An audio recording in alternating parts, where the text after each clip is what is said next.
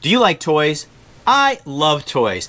But I'm not talking about toys that I played with as a kid. I'm talking about toys to play with as an adult. Like this. This is a laser engraving and cutting tool. But what am I going to use it for?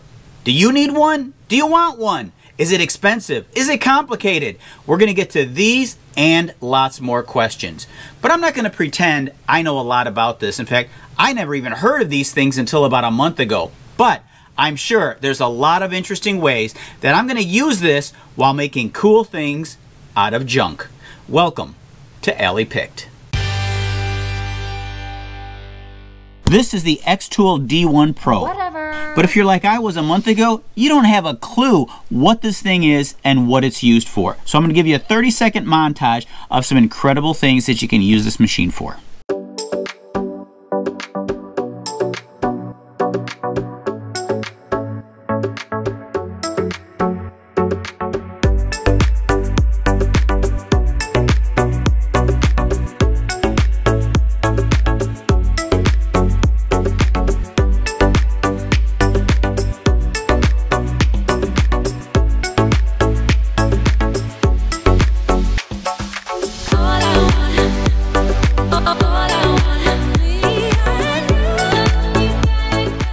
Not a big fan of unboxing videos, and this is not an unboxing video. However, there's a lot of parts you've never seen before, so it's probably a good idea to do a brief unboxing. I think in this case, I'll allow 20 seconds.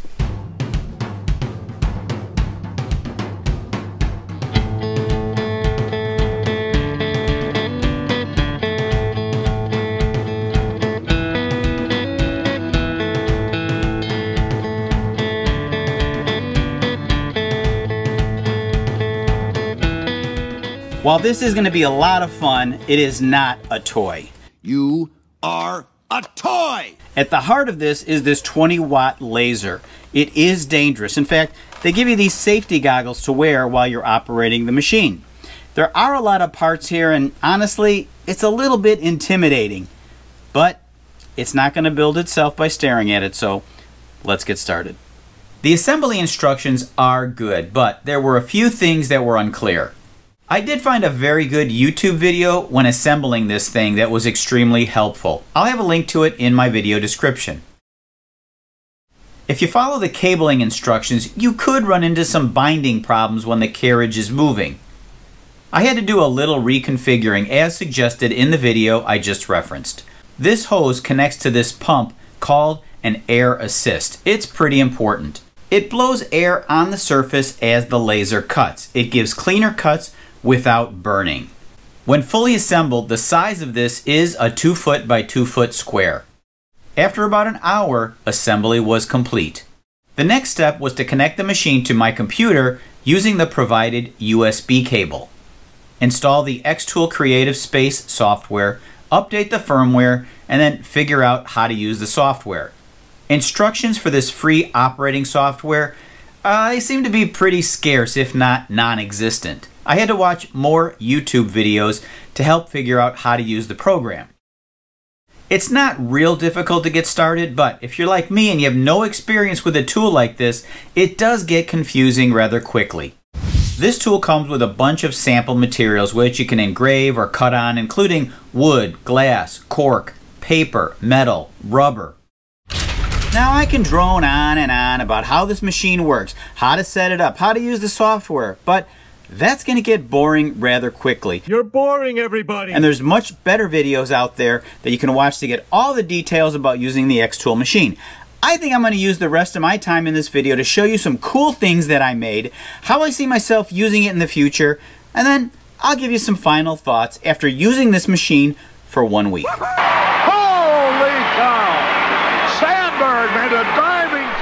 I'm going to try making a Chicago Cubs painted logo on a 3 quarter inch thick piece of basswood. But before I do it on the X tool, let me show you how I had to do this before I had the X tool. First, I had to cut a circle of wood, then transfer the image using graphite paper. With my router, I then used a profile bit to outline the letters. Next, I used a flat bottom bit to clean up all the in-between bits. Then some sanding to clean it up in preparation for painting. Now this is time consuming, tedious, and requires a careful hand at carving. Now back to the laser. The laser does the work I was doing with the router, only with much more precision.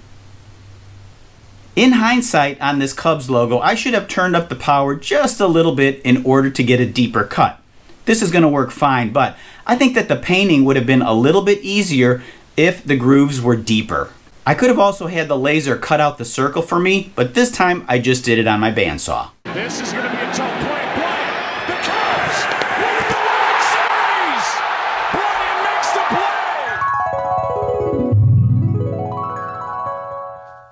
So here's a cool sign that I made from a thin piece of pine I picked up at the hobby store for about five bucks.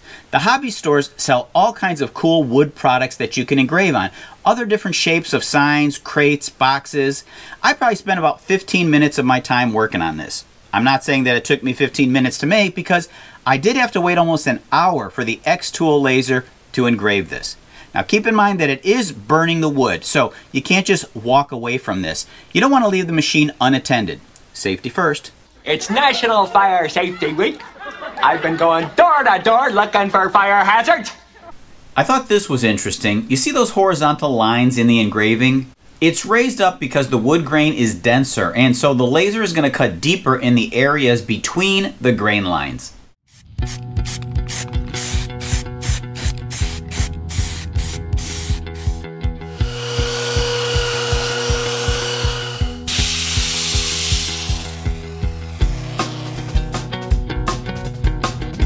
I played around with this machine cutting a few other materials like cork, 3mm plywood, thick leather. Man, it cuts through these things with speed, accuracy, extreme precision, and the fine detail was amazing. I do have a couple complaints. Well, more along the lines of things you should know. Number one, smoke. When you're cutting wood, this thing gives off a considerable amount of smoke.